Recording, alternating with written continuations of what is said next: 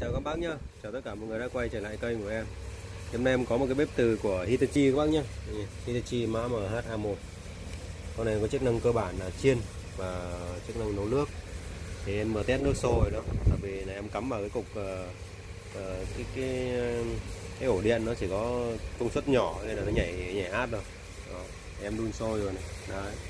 Bác nào nhu cầu mua thì alo cho em nhé. Cái dòng này ngày xưa nó, chỉ dùng uh, công suất nó chỉ 12 ampe thôi. 1200W bếp này em chưa có vệ sinh gì hết nhá.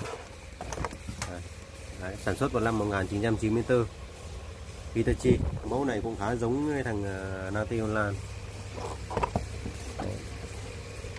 bếp hoạt động ok không có lỗi lầm gì. Thì bếp này em bán uh, cho bác là cái giá cho bác về vệ sinh ấy. Đấy rất là hợp lý nhá. Giá của nó là có 650 ngàn thôi. Đấy bác nào nhu cầu mua thì alo xem. Đúng một con thôi nhá. Không có con nữa đâu. Hàng Nhật nhá không phải là hàng à, Trung Quốc đâu nhá.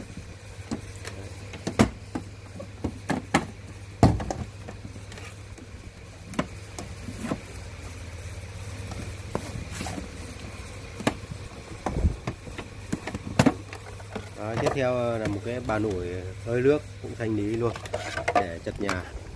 Không dây à, có dây các bác nhá. Có dây à, như bỏ vào cái hộp.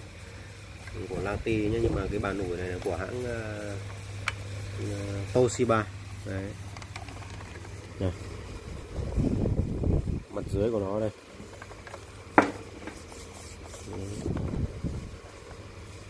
Mặt cũng còn đẹp lắm nhá. Hơi nước đây nhưng mà có dây nhá. Đấy, chỉnh nhiệt độ ở đây. Rồi bàn ủi này giá nó là 200 ngàn thôi thành lý.